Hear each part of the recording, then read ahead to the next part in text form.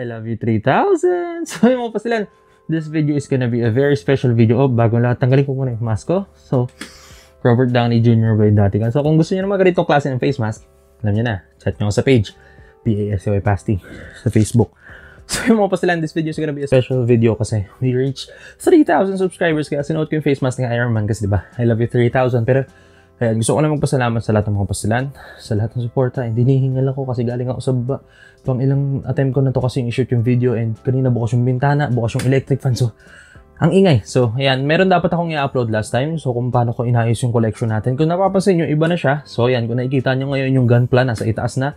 Pinagsama-sama ko na yung mga high grade, yung mga SD, yung mga real grade dyan sa taas. And then sa baba, sa likuran, kung nakikita nyo dyan sa likuran, pinagsama-sama ko na yung mga Funko Pop. And then sa right, left, ay sa right side or left, kung ano man yung nakikita nyo sa screen nyo na tinuturo ko ngayon. Hindi ko kasi sure yung orientation, pero ayan na yung mga band presto natin. So, sadly mga pastilan, kinakapos pa rin ako dito sa side na to kasi ang dami nagdatingan. So, yung nakikita nyo ngayon sa screen nyo, ayan yung mga halls natin. So, kumpleto na natin yung wave 2 ng Money Heist or La Casa de Papel na set. So, maraming maraming salamat ulit sa Mainstream Manila. You are one of the best stores talaga. So, para sa akin kasi, sobrang sulit. Nakuha ko yan. Isang kumpletong set, di ba? Yung iba naghahanap ng mga set. So, ako nakakuha. So, maraming maraming salamat ulit sa Mainstream Manila. Maraming maraming salamat. And, nakikita nyo ba yun? Nakikita nyo? Hindi nyo ata kita. Pero nalason ako sa Nendoroid. Diyos ko.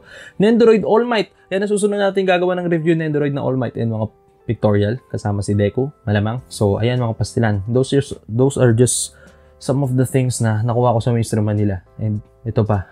Meron pa ako nakuha. Maraming maraming salamat kay Sir Ross Bennett. So, meron na rin tayo nakikita nyo sa screen. Yan. Overwatch na set. So, meron pang paparating kay Sir Ross din manggagaling. So, napakabait ni Sir Ross kasi buy now, pay later yan. So, so maraming maraming salamat Sir Ross Bennett. This is gonna be a special video kasi, di ba nga, naka 3,000 subscribers na tayo.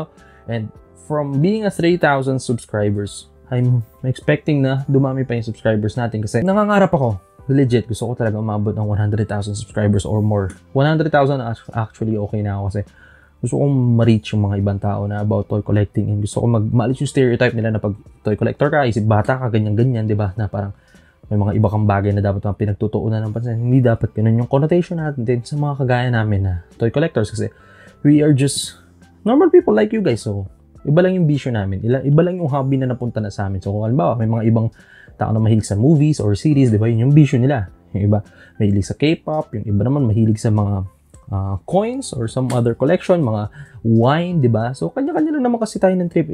Eh, kasi itong mga ganitong bagay, mga pasalins, just one of the things that keeps us sane. Lalo na sa panahon ngayon, di ba, may nangyaring crisis. So, kung wala itong mga to, we are gonna be having a hard time to cope up with what's happening. So, marami talagang naitulong itong mga hobby natin, no? Itong mga laruan. So, yan, di ba? Actually, pag ako pagod ako, mga pasilan, tinititigan ko lang to. Ginagawa ko, pinapatay ko yung ilaw. Siyempre, wala tong studio light natin. Pinapatay ko lang ilaw, tapos sinahayaan ko yung uh, LED strip ko sa likod. Nakakatanggal siya ng stress. Legit. So, minsan, after work, yung ginagawa ko, after mag-shoot or before mag-shoot, Ganun yung ginagawa ko. Tumatambil ako dito sa room ko. Tapos, tinititigan ko lang kasi, ano yun eh, parang hindi kasi yung mga pinaghirapan ko, di ba? So, napakalaking blessing. Kaya yun yung gusto kong goal na dumami subscribers natin and dumami yung mga tao na maturuan natin na it's not wrong to have toys sa collection. It's not wrong to have toys as something that keeps you sane. It's not wrong to have toys to comfort you. Parang ganun, di ba? Kanya-kanya ta- lang tayo ng trip and masaya manlason. Alam ko, at alam nyo na marami na akong nalason dyan. Yung mga nanonood dyan, alam ko, mag-comment kayo sa baba kung nalason ko na kayo. And yun na yung magiging question of the day natin. Mag-comment kayo sa baba kung nalason ko na kayo. So yan, nalason na ba kita? Kung oo, comment sa baba. Kung hindi, ano pa hinihintay nyo? Magpalason na kayo sa akin kasi sobrang saya malason. And sunod-sunod na kasi yan eh. Once nalason ka, you're gonna meet a lot of people. You're gonna meet a huge community of Funko Pop collectors, of Gunpla collectors, and other toy collectors na syempre, you're gonna branch out. Minsan kasi, hindi ka lang magko-collect ng Funko Pops eh. Mapupunta ka sa ibang toy line. So, agaya ko, and you're gonna meet a lot of awesome people. And you're gonna have lots of friends. Kung alam nyo, kung subscriber kayo dati pa, na I have been in YouTube since 2017. So, 3 years na ako nag-YouTube. So, parang nangyayari, 1,000 subscribers per year. Pero hindi ganun yung nangyari. Actually, nag-start ako ng channel ko na hindi toys yung kinokollect ko. I started my videos na kung ano-ano. Yan, kung nakikita nyo sa screen nyo, yun yung mga dati kong content. Tapos, ngayon, chinecheck ko yung phone ko. Chinecheck ko kung kailan ba ako nag, ano, nag-rebrand. Chinecheck ko yung date eh. I think it's 2018 or 2019 na napag-desisyon ako mag-rebrand into this niche, yung mga toys. Kasi nagiging ano ko na rin siya eh, nagiging hobby. Nagiging, unti-unti, nagiging ano rin siya, nagiging part na ng buhay ko. So yun, sinama ko na. So wait lang ha, malapit, medyo malapit-lapit na. Tumigil. So I think it's around 2019, 2018 na nagpalit ako ng content. It's because si Sir Boss Barry ng Zaco Cebu, yung nag-provide sa atin ng death site. Yan, siya yung nagsabi sa akin na mag-rebrand ako ng niche kasi yung channel ko dati kung ano-ano talaga yung laman niya mga pasinan. Sa mga hindi nakakaalam, dati akong everything under the sun of vlogger. yun yung tinatawag ko sa sarili ko dati kasi kung ano lang talaga yung magawa ko ng video, yun lang. Kung ano-ano lang. Kasi yun, nag-decide ako na mag-toys and then nung nag-rebrand ako, doon ko nakita na merong mga collectors na mahilig din manood ng mga vlogs and ganitong klase ng video and overseas, marami din mga YouTuber o vloggers na ganito yung content. So, naisipan ko, what if gumawa ako ng content na para sa mga Pinoy. So, kaya hindi ako nag-English kung napapansin nyo. Oo, alam, alam kong maraming viewers outside of the country na makakanood ng videos ko. Pero, mas pinipili ko mag-Tagalog para, para sa, sa inyo, sa mga Pilipino. Kasi, pag ginawa kong English yung content ko, mapupunta tayo sa mga overseas, sa mga audience, which is, uh, mahirap kasi actually pag nag-English ka, gagawa ka pa ng script. Hindi, hindi naman ako ganun agaling mag-English kaya ngayon actually, tsaka hindi ako nag-i-script mga pasilan.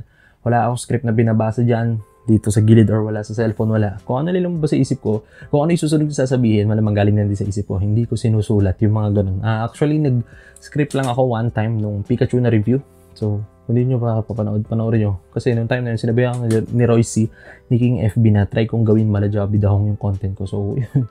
Doon lang yung time na gumawa ako ng uh, script. Pero, after nun, wala. Hindi talaga ako nag-script. Kaya, raw. Talaga yung mga video ko sila minsan. And yun, that's enough of me blabbering about how I reach 3,000 subscribers or bago mag 3,000 subscribers. Pero wala ako, wala tong 3,000 na to kung wala kayong mga pasilan. Wala talaga to. Lalo-lalo na yung mga sumusuporta dyan, yung mga nasa GC natin na solid pastilans. Kung di pa kayo kasali, sumali kayo. Chat nyo ako sa page kung gusto nyo sumali.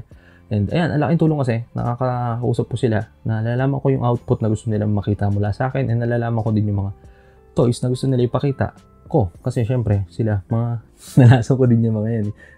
Kung, huwag kayong sasali sa GC ko kung ayaw nyo malason. Pero, ayun, isa sa mga lason, isa sa mga nalason ko dun is Simon Salazar. He's one of the few people na nagtiwala sa akin and nag-sponsor sa akin. So, in-sponsoran niya ako dun sa John Wick na toy. Kung hindi nyo pa napaparin yung video, ayan. So, binigyan niya ako ng John Wick na toy. And hindi ko in-expect yun kasi ang alam ko, usapan lang nun is videohan ko lang yung shop nila, yung mainstream nila. So, promotion. Ako, ako kasi mga pa sila pag gumagawa ako ng content, wala naman sa akin kung bibigyan nyo ako eh. Okay lang sa akin na ma-expose ako dun sa mga tao, sa mga customers nyo, na may ganito palang vlogger, may pasty pala na gumagawa ng content about Funko Pops, ganun. Pero si Mon, binigyan niya pa ako ng John Wick, which is, ando na siya, si John Wick. So, isa na yun sa mga personal grades ko. So, napakalaking bagay para sa akin. Kasi hindi naman ako sikat. hindi naman ako marami subscribers ko. Yung time na yun, wala pa atang 2,000 yung subscribers ko, pero nagtiwala siya. Kaya ang laking tulong nun. And kayo mga pasilan, napakalaking tulong nyo din sa pag-grow ng channel ko. And dahil nabanggit ko, mainstream Manila, napag-desisyon ako din na gawa na ng video to. So, si mainstream Manila mga pasilan, he gave us 3 Funko Pops. 3. 3 for 3,000. 3 Funko Pops for giveaway.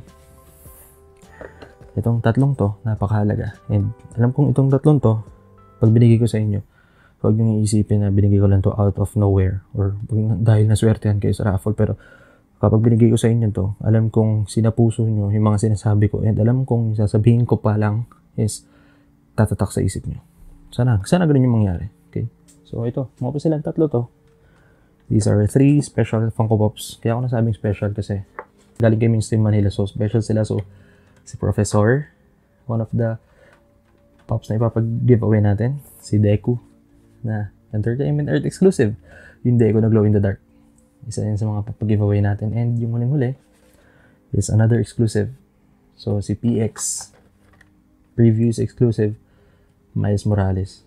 So, alam nyo kung ba't nag-special itong tatlong Funko Pops na ito mga pasilan. Kasi sa panahon ngayon, Actually, nagiging emotional ako ngayon eh. Hindi ko alam kung bakit, pero si, kasi sobrang thankful ko sa inyo. So, ito. Um, kaya sila naging special. Kaya ako sila tinawag na special ng Funko Pops kasi alam kong may mga taong magagalit sa akin or mababash ako sa gagawin ko pero buo yung loob ko na ginawa ko tong content na to. Kaya sila naging special kasi they each have their own imperfections. So, hindi sila yung mga mint or yung pang NOOB collectors na hindi nilalabas yung pops nila. These are damaged pops or masasabi nating may issue yung mga boxes. So, si Professor, as you can see, si Deco, as you can see, and si Miles Morales. And alam niyo kung bakit ko ipapamigay sila? Hindi dahil binigay sa akin ito ni mainstream, kaya ko sila ipapamigay. Actually, pwede ko namang isipin na, ba't ko ipapamigay? Pwede ko na lang sila i-keep, ba? Since, baka ayaw nyo. Pero, naisip ko na, pamigay sila since, gift din sa akin ni mainstream to. For reaching 3,000 subscribers, so, ang ginawa ko, is naisip ko na lang na, samahan ko ng message yung, yung ginagawa ko ngayon. So, sa nangyayari ngayon sa mundo, mga pasilan, alam naman natin na we are having a crisis all around the world. Hindi lang sa Pilipinas, we're having a pandemic. So, sa so ngayon, mas may gusto kong i-instill sa inyo, sa isip nyo.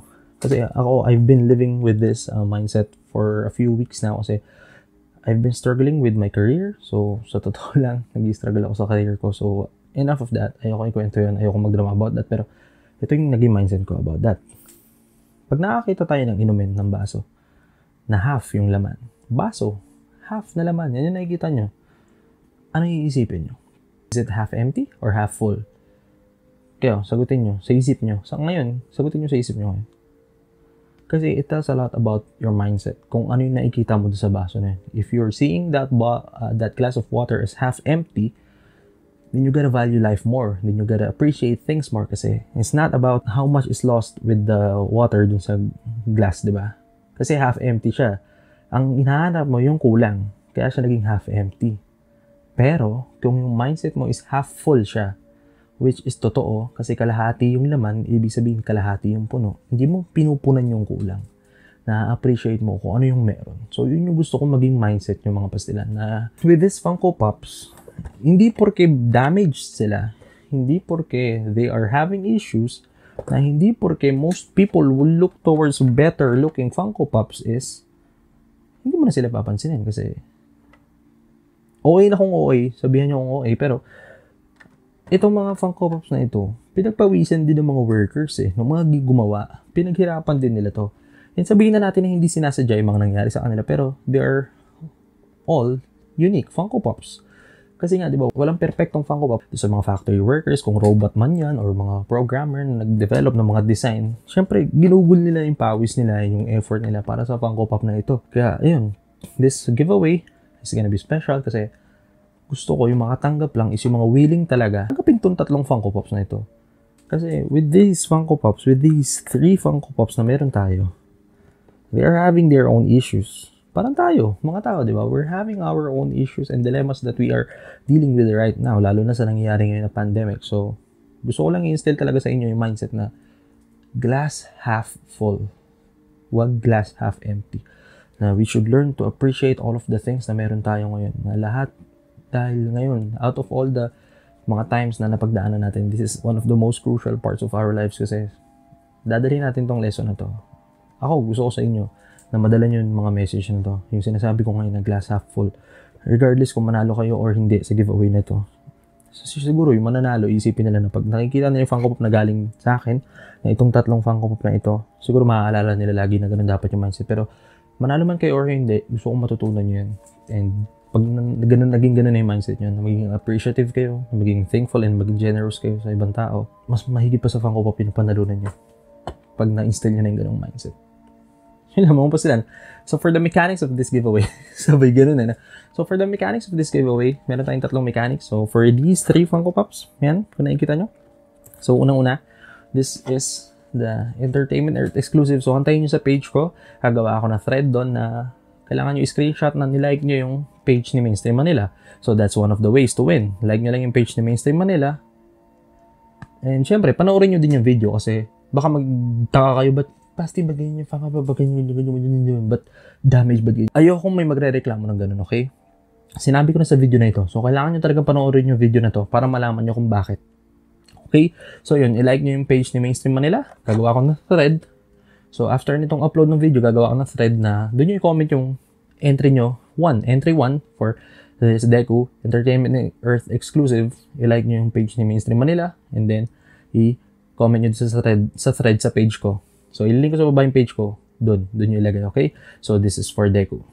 Okay? So, for this one, sa luck, sa La Casa de Papel na si El Professor, what you have to do is uh, comment kayo sa baba.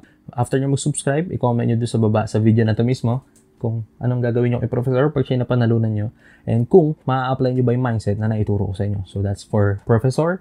This is this is for the YouTube video. Okay, so ito naman si Miles Morales na PX exclusive. This is gonna be for PTYD members. So lahat kayo pwede kayo sumali doon sa tatlo, okay?